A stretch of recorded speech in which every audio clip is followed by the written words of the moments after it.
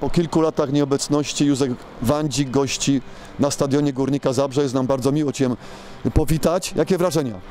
No wrażenie jest fantastycznie z zewnątrz, że Górnik ma taki piękny stadion, na, na codziennie rozgrywki ligowe śledzę na, na, okrągło, także widzę mecze Górnika w telewizji, no ale z, z bliska robi bardzo ekstra wrażenie stadion, jak widzę, że już się zaczynają prace takie przygotowawcze do nowej rundy, o, mam nadzieję, że już wszystko się dobrze skończy z tym stadionem i Górnik będzie miał doping kibiców, nie wiem, 20 4-25 tysięczny. Naprawdę Górnik jest taką historyczną drużyną w Polsce, że, że mu się to należy.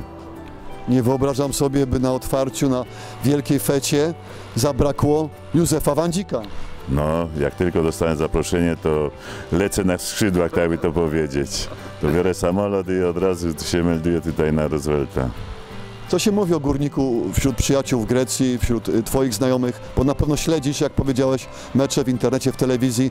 Przeżywasz na powrót te, te wielkie emocje. No nie, w Grecji to wi wiadomo, że koja kojarzy mnie z Górnikiem Zabrze, jak Krzyśka Warzej z Ruchem Rożów, nie?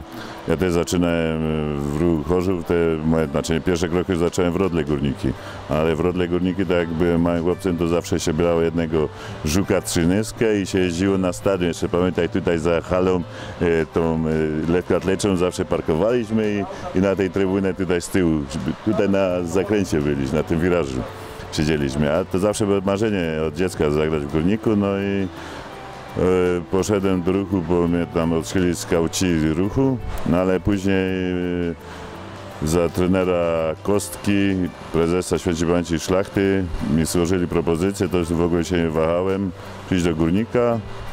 No i przez to byłem na początku zawieszony na 3 lata, a w końcu 8 miesięcy banicji miałem.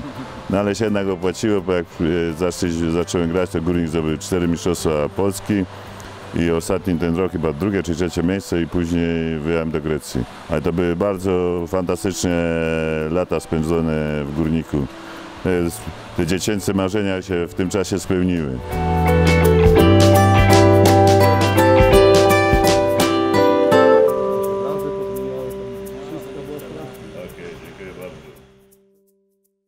Καλή επιτυχία να έχει η ομάδα της Γκόρνικ Ζάμπζε και φιλάτλητους.